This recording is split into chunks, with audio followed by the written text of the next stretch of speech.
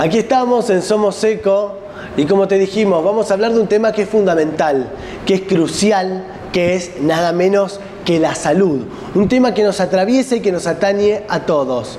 Estamos aquí con Dardo Dorato, presidente de la Asociación Médica de Rosario, donde nos planteamos también instalar en el debate nacional, dialogar de una cuestión mucho más profunda, mucho más a fondo que tiene que ver con lo que acabo de decir, con la salud justamente. Particularmente la Asociación Médica de Rosario se encontró en una instancia de negociaciones reclamando un aumento digno para los honorarios, para los salarios, pero mucho más en profundidad nos va a dialogar acerca de todo esto el presidente de la Asociación Médica, que acabo de mencionarlo, Dardo Dorato, aquí con nosotros. ¿Cómo estás, Dardo? Buenas noches. Gracias a ustedes por invitar, porque se interesan por temas que no siempre están en la agenda.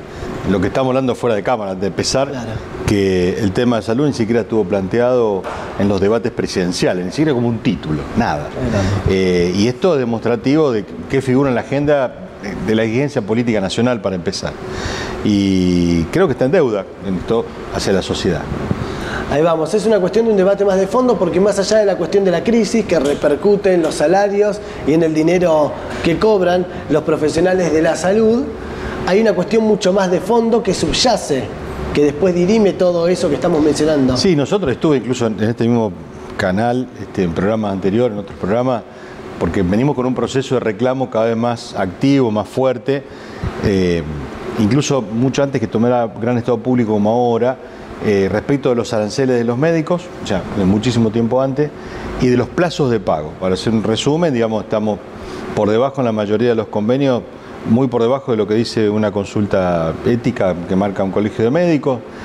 Y la otra cuestión que en tiempos inflacionarios como los que corren se torna crucial son los plazos de pago, donde están muy extendidos, 60, 90 días en muchos de los convenios, y hoy es inaceptable que cualquier servicio que uno contrate diga, bueno, ven y te pago dentro de tres meses. Claro. Cuando se arma la cadena de pago históricamente en un proceso digamos, o en etapas donde hay inflación, no, no, no, es, no vulnera demasiado, digamos, pero en estas circunstancias se torna este, agobiante. Y de hecho, insisto, tenemos un montón de centros médicos, son pequeñas clínicas de consultorios donde hacen básicamente consultas y que son tradicionales muchos de ellos que están cerrando estos días porque no se puede sostener. Bueno, esto es lo que estamos planteando. Este es el reclamo inmediato, en el corto plazo, pero la cuestión de fondo es la otra que estábamos hablando anteriormente, es decir, no hay un sistema de salud integrado con una integración de los fondos de financiamiento que le den racionalidad al sistema, que le den eficiencia, y cuando eso sucede se perjudican todos, el usuario, que el paciente, el prestador, que el médico, el propio financiador, que es el que tiene que aportar los fondos para la prestación de su obra social, que tiene fin solidario en general. Eh, y yo siempre digo, esto no lo resuelve un gobernador, está por encima de eso. Es un debate nacional que hay que dar con un grado de generosidad en las discusiones que hoy no se ven, porque eh, hay que plantear acuerdos y hay que de alguna forma despojarse de algunos intereses individuales eh, o institucionales de, algunas, de algunos sectores, que es un debate largo y hay que llevarlo a cabo con mucha responsabilidad política, institucional, y no estamos viendo eso, eso es lo que más preocupa. Tardo, ¿por qué crees vos que la cuestión de la salud hoy en día está tan relegada? ¿Por qué crees que no se creo que hay sobre eh, este tema? Y más en tiempos inflacionarios como los que estamos, estamos atravesando una crisis económica severa. La sociedad está muy preocupada por estas cuestiones que por lo menos hoy el sistema de salud no le está planteando como un gran interrogante. La económica, la inflacionaria dentro de la económica, que es terrible, la inseguridad, que antes no estaba primero en la agenda, pero hace unos años que lamentablemente nos tuvimos que acostumbrar a que estuviera en la agenda. Eh, creo que hay una discusión sana en la sociedad eh, del sistema educativo, por ejemplo, que es fundamental, y, pero el sistema de salud no aparece, ahora que no aparezca en la agenda de las inmediateces populares, por llamarlo de alguna forma, no dispensa a que al dirigente político esto no tenga que estar en su agenda. Tiene que haber gente de la dirigencia nacional y técnicos nacionales que estén preocupados por discutir este tema. Bueno, eso no aparece. Ahora, si no, vamos a tener que esperar a que venga otra pandemia para que la cuestión de la salud esté, sea verdaderamente relevante. Ah, sí, porque nosotros lo que decimos siempre, eh, no somos héroes porque no nos fuimos a la pandemia, era un riesgo que había que correr y que, todos asumieron los médicos y lo corrieron. Y tampoco somos villanos por pedir este, ahora una recomposición a lo que dice eh, cualquier índice inflacionario, el IPC, eh, a lo que son los costos de la vida comunes, digamos, ¿no? Claro, sí. Asimismo, yo creo que si no, si no hay salud, no hay cuestiones que tienen que ver con la educación, ni con la cultura, ni con todo lo demás. Es algo de índole elemental. ¿Cómo considerás vos, de tu largo y extenso recorrido, cómo considerás que tiene que ser verdaderamente un sistema de salud en un país para que funcione? ¿Qué es lo que tiene que haber? Yo, digo, la, palabra clave es integración, para mí, ¿no? Es decir, eh, los, hay tres subsistemas para decirlo a grosso modo, en Argentina. El subsistema de seguridad social, o obras sociales, claro. que se financia principalmente con el aporte de los sueldos de los empleados y empleadores para, una, para, para cada una de las obras sociales que tiene un fin solidario.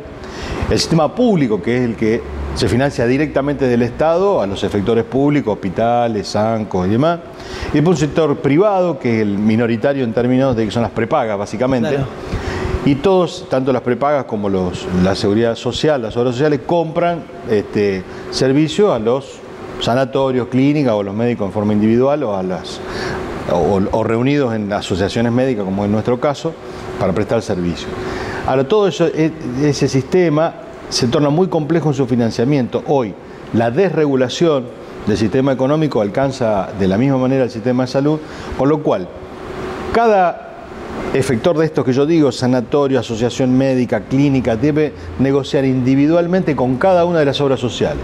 Obras sociales nacionales son 300, de las cuales 250 son inviables por escala, o sea, cual ya plantea o replantearía un sistema de reordenamiento de eso para que pudieran dar el servicio que da.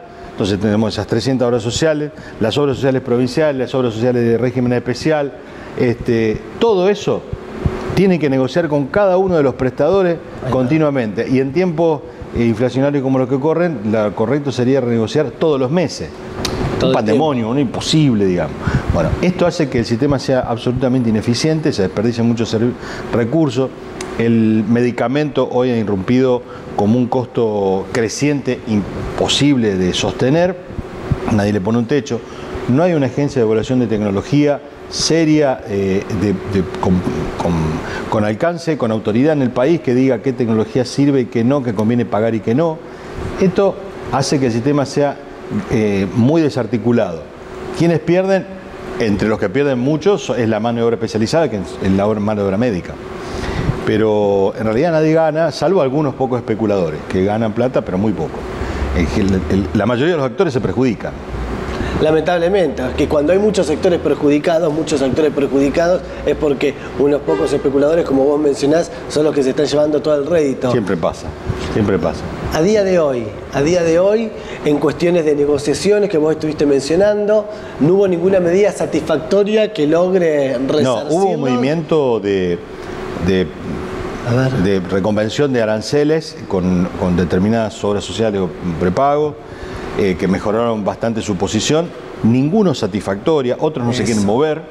O sea, la situación está lejos de resolverse, eh, resolverse bien por lo menos, así que sigue habiendo un clima de gran tensión, mucha ansiedad en todos los colegas, entendible, con movilización, y está bien.